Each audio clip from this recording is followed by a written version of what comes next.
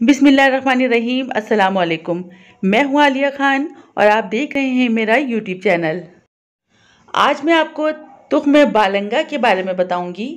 तुख्म बालंगा क्या है, उसके क्या फ़ायदे हैं और उसको घर में किस तरह आसानी से उगाया जा सकता है और इसके पौधे के पत्तों को खाने में इस्तेमाल किया जा सकता है या नहीं, ये तमाम मालूम आपको आज की वीडियो से मिलेंगी। आपने न्याजबो, मरवा बेज़ल, तुलसी, तुख्म रेहान, तुख्म बालंगा, चिया सीड्स और भी बहुत से इस तरह की सीड्स के बारे में सुना होगा। सबको यही कन्फ्यूज़न रहती है कि ये सब अलग अलग हैं या एक ही पौधे हैं। परेशान ना हो, ये सब एक ही ख़ानदान के पौधे हैं और ये पौधीने की फैमिली है। थोड़े बहुत फ़र्क के साथ इनके बीज एक ही तरह के होते हैं। इनमें से कुछ पौधों के बीजों को तुख्म बालंगा कहा जाता है। तुख्म बालंगा सेहत के लिए बहुत मुफीद है। तुख्म बालंगा फाइबर, ओमेगा फैटी एसिड्स और मादनियात से माला माल होता है। पहले तुख्म बालंगा के फ़वाद जान लें। तुख्म बालंगा का पहला फ़ायदा, ये एंटीऑक्सीडेंट है। जिसकी वजह से जिल्द के लिए बेहतरीन है और बुढ़ापे के असरात बनने नहीं देता। फ़ायदा नंबर दो, इसमें मौजूद फाइबर्स हाजमे में मददगार है, दुख में बालंगा में मौजूद फाइबर्स कब्ज़ को ख़त्म करता है। फ़ायदा नंबर तीन, दुख में बालंगा कोलेस्ट्रॉल घटाता है, ब्लड प्रेशर मामूल पर रखता है और दिल के लिए बहुत मुफीद है। फ़ायदा नंबर चार शुगर में मुफीद है। दुख में बालंगा में एल्फा लाइनोलिक एसिड और फाइबर्स की मौजूदगी की वजह से खून में चर्बी नहीं बनती।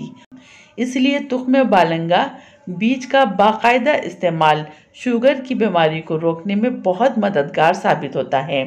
फ़ायदा नंबर पाँच, ये मोटापे से बचाता है जिसमें मेटाबॉलिज्म तेज़ करके चिकनाई कम करता है।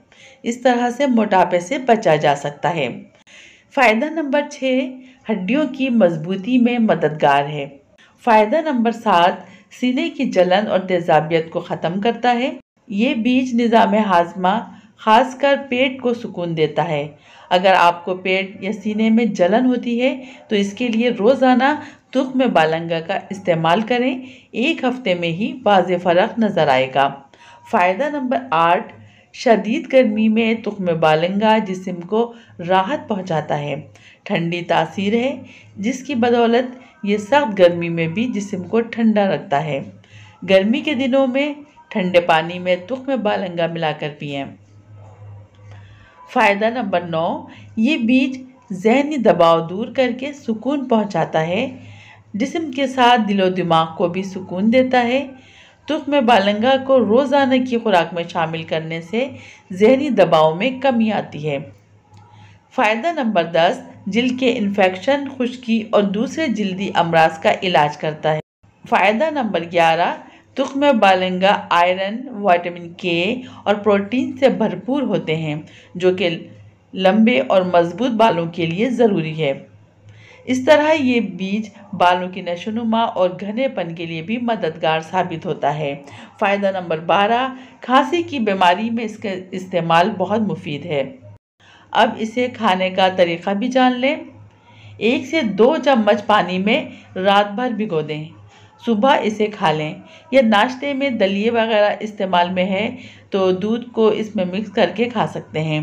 इसके इस्तेमाल के लिए एक अहम बात भी नोट करें। कभी भी इसका पाउडर ना बनाएँ, ये बहुत नुकसानदेह है। कुछ ज़रूरी एहतियातें तुख में बालंगा और चिया सीड्स पानी को जज्ब करने की सलाहियत रखते हैं। अगर इनको भिगोकर ना खाया जाए तो ये आपके जिसम में मौजूद पानी को जज्ब करके कब्ज़ का सबब बन सकते हैं। एक दिन में एक से डेढ़ चम्मच से ज़्यादा ना लें और कोशिश करें कि रोज़ाना की बजाय एक दिन छोड़कर इस्तेमाल किया जाए।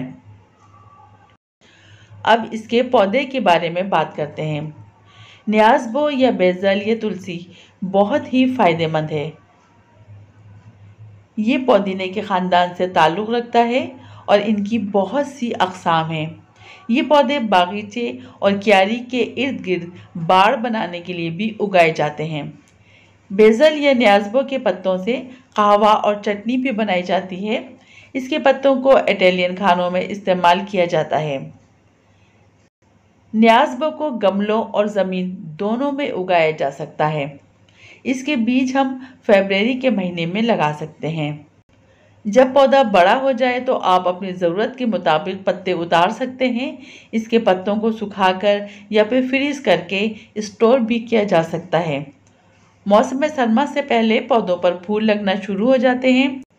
इसके पत्तों का जुशांदा बनाकर पिएँ। कुछ अरसे बाद उन फूलों से बीज बन जाएँगे। तो बाद में पौधे उगाने के लिए इन बीजों को इकट्ठा किया जा सकता है। अगर सिर्फ़ पत्ते ही हासिल करना है तो फूलों को काट दें। ऐसा करने से पौधा दोबारा अपनी ताकत पत्ते बनाने में सर्व करता है। सर्दियों में पौधा सूख जाता है और गर्मियों का मौसम आने पर दोबारा ठीक हो जाता है। पौधों पर किसी भी किस्म की कीड़ों का हमला होने की सूरत में उन पर नीम ऑयल या फिर ऑर्गेनिक स्प्रे करें। इसके पत्तों के भी बहुत फ़ायदे हैं। न्याजबो के पत्तों की चटनी बनाई जाती है, जो कि जायके के साथ साथ फ़ायदा भी देती है। पेट दर्द, पेट की कीड़े हाजमे में बहुत फ़ायदेमंद है।